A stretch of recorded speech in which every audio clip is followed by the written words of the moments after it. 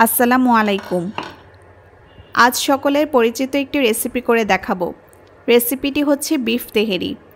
তেহেরি অনেকের পছন্দের খাবার হলেও কঠিন রান্না মনে করে বাসায় করতে চান না। অনেক সময় রান্না করলে তেহেরির স্বাদ ও ফ্লেভার ভালো আসে না।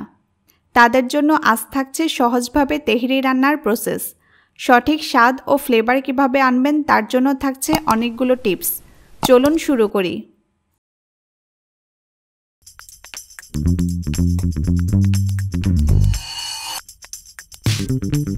এখানে আমি ছয়শো গ্রাম গরুর মাংস নিয়েছি। মাংসগুলো আমি ছোট ছোট টুকরা করে কেটে নিয়েছি।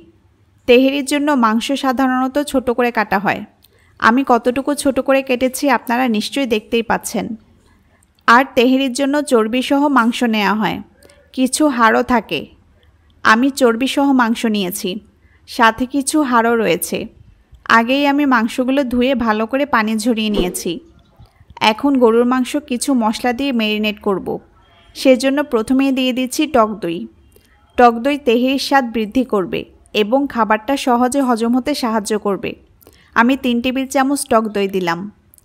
সাথে দিচ্ছি দুই চা চামচ রসুন বাটা। আর দিচ্ছি এক টেবিল চামচ আদা বাটা। এখানে আমি কিছু গরম মশলা নিয়েছি। এখানে আমি নিয়েছি পনেরোটি এলাচ। জয়ফল একটি, চার ভাগের এক ভাগ।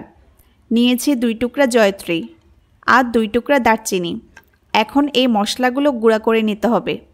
চাইলে একসাথে বা আলাদা আলাদাভাবে বেটে নিতে পারেন। এতে টেস্ট সবচাইতে বেশি ভালো আসবে। আমি গুঁড়া করে নিয়েছি। সবটা মশলা এখন মাংসের মধ্যে দিয়ে দিব। মশলাগুলো ব্ল্যান্ড করে গুঁড়া করার আগে টেলে নেওয়া বা ভেজে নেওয়ার দরকার নেই। এমনি ব্ল্যান্ড করতে হবে। আর জয়ফল ও জয়ত্রী খুব স্ট্রং ফ্লেভারের মশলা।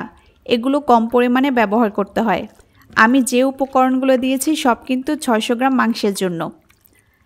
এখন হাত দিয়ে খুব ভালো করে মাংসের সাথে মশলাগুলো মেখে নিতে হবে, যাতে সব মাংসের গায়ে মশলাগুলো লাগে। আপনারা জানেন আমি ছয়শো গ্রাম মাংস দিয়ে তেহেরি রান্না করব। আর সুগন্ধি চাল নেব পাঁচশো গ্রাম। তেহেরিতে চালের পরিমাণের চাইতে মাংসের পরিমাণ বেশি নিতে হয়। আপনারা যদি চাল এক কেজি নেন, তাহলে মাংস নিতে হবে বারোশো গ্রাম থেকে দেড় কেজি। মাখানো হয়ে গেছে। এখন ঢেকে রেখে দিব বিশ মিনিটের জন্য। রান্নায় চলে এলাম। প্রথম একটি হাঁড়িতে হাফ কাপ সরিষার তেল দিব। তেহেরি সরিষার তেল দিয়ে রান্না করলে সবচেয়ে বেশি টেস্ট আসে। আপনারা চাইলে সাধারণ রান্নার তেল দিয়েও মাংসটা রান্না করতে পারবেন। আর যে তেল দিয়ে রান্না করেন, তেল একটু বেশি দিতে হবে।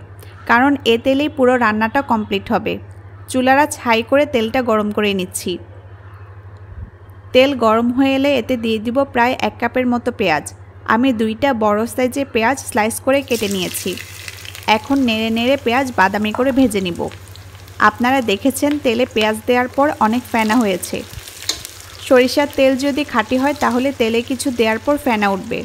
আর যদি ফেনা না উঠে তাহলে বুঝবেন তেলে ঝামেলা আছে। নেড়ে নেড়ে পেঁয়াজগুলো ভেজে নিচ্ছি। যেহেতু ফেনার জন্য কিছু দেখা যাচ্ছে না, তাই একটু পরপর পেঁয়াজ উঠিয়ে দেখছি কতটা ভাজা হয়েছে। দেখুন, পেঁয়াজগুলো বাদামি হতে শুরু করেছে। এখন আমি এতে দিয়ে দিব ম্যারিনেট করে রাখা গরুর মাংস। আপনারা দেখেছেন মাংসগুলো আমি ২০ মিনিট ম্যারিনেট করে রেখেছিলাম। ম্যারিনেট করে রাখার ফলে মশলাগুলো মাংসের ভেতর ভালোভাবে ঢুকতে ও মিশতে পারে। রান্নার স্বাদ অনেক বেড়ে যায়। সাথে দিব লবণ। আমি আপাতত এক চা চামচ দিয়েছি। লাগলে পরে আরও দেব। এখন নেড়ে তেল ও পেঁয়াজের সাথে মাংস খুব ভালো করে মিশিয়ে নেব। নেড়ে নেড়ে মিশিয়ে ঢাকনা দিয়ে ঢেকে মাংসগুলো কষাবো। এ সময় চুলারাজ হাই ও মিডিয়ামের মাঝামাঝি রাখব। প্রায় ২০ মিনিট পর ফিরে আসলাম। এর মাঝে আমি পাঁচ মিনিট পর পর ঢাকনা তুলে নেড়ে দিয়েছিলাম। মাংস থেকে যে পানি বের হয়েছিল তা দিয়ে মাংস কষিয়েছি। কোনো পানি অ্যাড করিনি। দেখুন মাংস থেকে যে পানি বের হয়েছিল তা প্রায় শুকিয়ে এসেছে। আমি ভালো করে নেড়ে দিচ্ছি। এখন পানি দিয়ে মাংসগুলো পুরোপুরি সেদ্ধ করে নেব। প্রয়োজন মতো পানি দিয়ে দিচ্ছি। মাংস সিদ্ধ হতে যতটুকু পানি দরকার ততটুকু দিতে হবে। আর অবশ্যই গরম পানি দিতে হবে। একটু নেড়ে দিচ্ছি। আবারও ঢাকনা দিয়ে ঢেকে দিব মাংস সিদ্ধ হওয়া পর্যন্ত। প্রায় পঁচিশ মিনিট পর ফিরে এলাম। আমি মাঝে দুবার ঢাকনা তুলে নেড়ে দিয়েছিলাম। আর পানি যদি শুকিয়ে যায়, আপনারা মাংস সেদ্ধ হওয়া পর্যন্ত গরম পানি অ্যাড করে মাংস সেদ্ধ করে নেবেন। এখন আমি মাংস চেক করে নিব হয়েছে কিনা। মাংস প্রায় সিদ্ধ হয়ে এসেছে। আমি আর পানি দিব না। বাকি যে ঝোলটুকু আছে, এ ঝোলেই মাংস পুরোপুরি সিদ্ধ হয়ে যাবে। এখন আমি পাঁচটি আস্ত কাঁচামরিচ মাংসের মধ্যে দিয়ে দিব। ঢাকনা দিয়ে ঢেকে রান্না করব আরও পাঁচ মিনিট।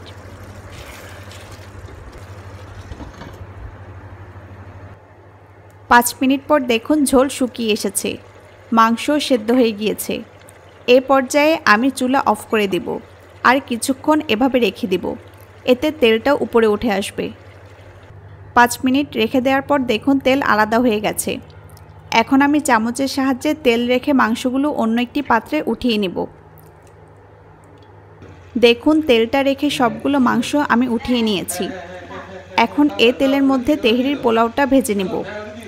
সেজন্য চুলা আবার অন করে দিলাম। এ তেলে পুরো রান্না শেষ হবে, তাই মাংস রান্নার সময় তেল একটু বেশি দিতে বলেছিলাম। তেল গরম হয়ে এসেছে। এখানে পাঁচশো গ্রাম পোলাও চাল রয়েছে। আগেই বলেছি, মাংস যতটুকু নেবেন, চাল তার কম নিতে হবে। এতে তেহরি দেখতে ও খেতে ভালো লাগে। চালগুলো ধুয়ে খুব ভালো করে পানি ঝরিয়ে নিয়েছি।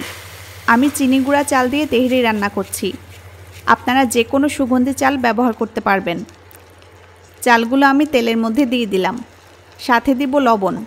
এক চা চামচ লবণ দিয়ে দিলাম।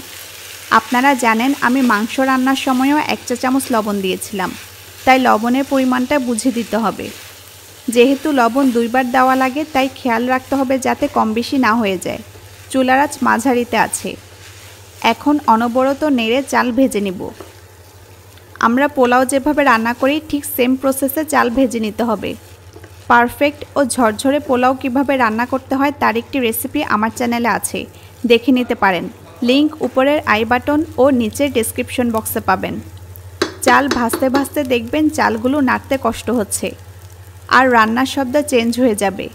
খেয়াল করুন চালগুলো থেকে পটপট শব্দ হচ্ছে। এখন পানি দিতে হবে।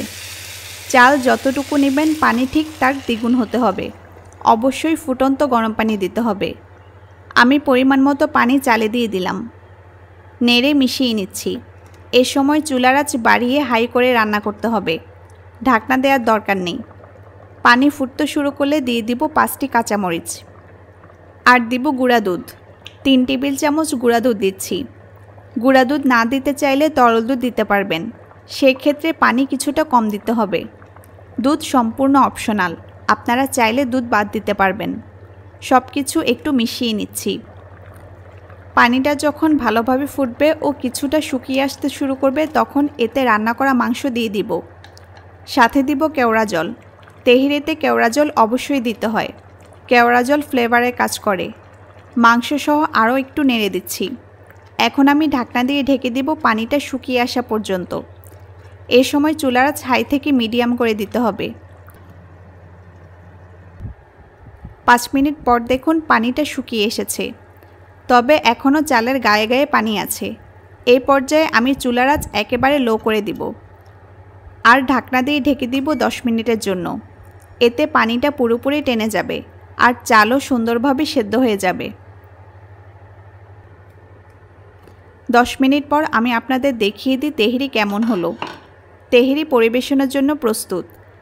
দারুণ একটা ফ্লেভার ছড়িয়ে পড়েছে চারপাশে। আমার এখনই খেতে মন চাইছে। দেখুন কতটা ঝরঝরে হয়েছে। ঝরঝরে, অথচ চালও ভালোভাবে সিদ্ধ হয়ে গিয়েছে। হয়ে গেল অল্প মশলায় ও সহজে মজাদার তেহেরি। রান্নার ফ্লেভারই বলে দিচ্ছে তেহেরিটা কতটা মজার হয়েছে। আমি আর লোভ সামলাতে পারছি না। কোনো প্রশ্ন থাকলে কমেন্টে লিখুন, আমি রিপ্লাই দিব। বাসায় ট্রাই করে জানাবেন কেমন হলো। সবাই ভালো থাকুন, সুস্থ থাকুন। আল্লাহ হাফিজ।